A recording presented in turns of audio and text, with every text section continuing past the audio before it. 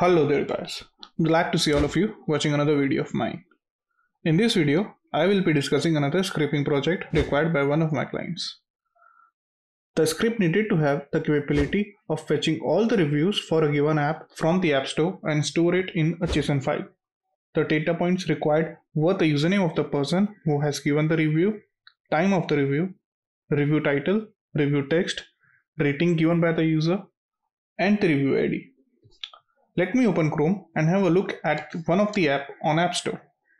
So this is the official app of the Chelsea Football Club. Here we can see that this app has an average rating of 4.6 and a total of 987 people have rated this app at the time of recording this video. Now this is important to note that the number of reviews will always be less than the total number of ratings. This is because let's face it, most of the time we are too busy or rather I should be saying too lazy to write a review. I think the every number of reviews for a given app is just 10 to 15% of the total number of rating it has. Moving on, when we click on see all under the review section, we will have all the reviews for the app. Let's have a look at just first review. Here we have the review rating, name of the user who has made the review, the time of the review, review title, and review text. It is missing the review ID.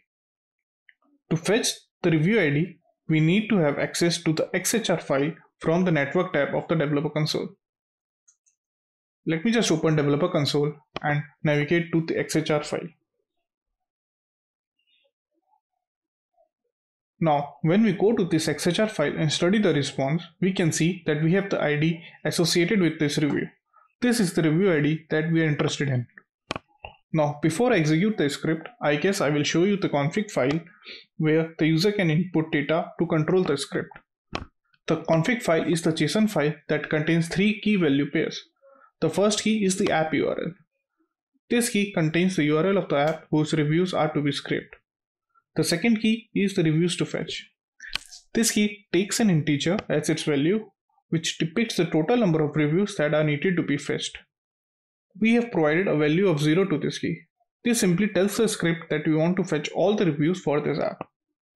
The third and final key is the save after review number. This key also takes an integer as its value. This value is the number of fetched review after which the script will save the reviews to the JSON file. We have provided a value of 1000 to this key that tells the script to save fetched review after every 1000th review. Now let me just head over to the terminal and run the script.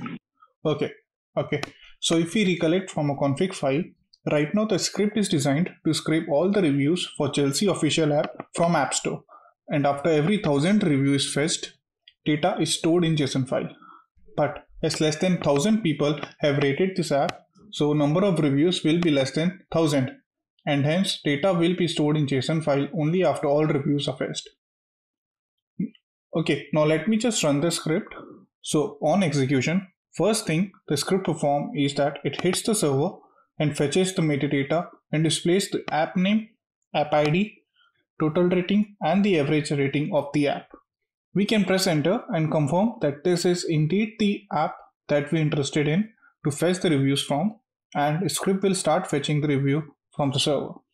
Here, it is important to note that the scraping process is very fast as we are fetching the data from the XHR file and not from the HTML.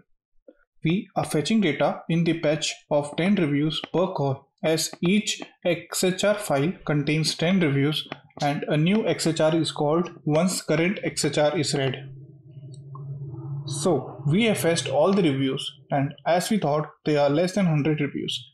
In total we have around 78 reviews and are stored in the JSON file. Let me just head over to the project folder and have a look at the JSON file. So in JSON file we can see the app name, source from which the reviews are fetched that is the App Store, app ID, app URL, total ratings, average rating and total review fetched. These are the different reviews we have fetched. Here we have the type of reviews, which is user review. Then we have username of the person who have made the review, rating given to the app, date of review, title of review, and the text of review. Now let's just try and fetch reviews of the app which has a larger number of reviews. So I've selected FotMob app. It is an app that gives scores of football matches. As you can see, this app has over 57,000 ratings and has an average rating of 4.9. So I guess it must have over 4 to 5000 reviews. So let me just make changes to the config file. I will just copy the app URL from the browser and paste it to the value of the app URL key in the config file. We will just be fetching 1000 reviews and so we will give key reviews to fetch a value of 1000 and we will like to save the data to the JSON file after every 100th review. So now let's just run the script.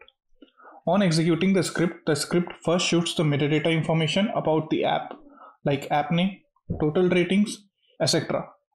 Okay, now we have started fetching the reviews. The reviews are being fetched in the fetch of 10 reviews per call as mentioned earlier. And you can see that the data is being saved in the JSON file after every 100th review fetch. Now this might take up to a minute to fetch 1000 reviews and you can see that the data is being saved into JSON file after every 100th review we are fetching. So now the script has fetched all the reviews and saved the data in JSON file. Let's examine the JSON file. So let me go to the project folder and open the JSON file. Now here we can see that we have the app name, app ID, app URL, total ratings, average rating, total reviews fetched, and these are the reviews. So I guess this explains properly about the working of this project. If you have any such work or need any kind of data from any website, please feel free to contact me through Upwork. You can also contact to me through Instagram, Twitter, or through Gmail. Links of all these medium can be found in the description. Also, do subscribe my YouTube channel and like and share this video if you liked my work as it will help me a lot as I am just starting out. See you all in next video. Till then, take care, work hard and party harder.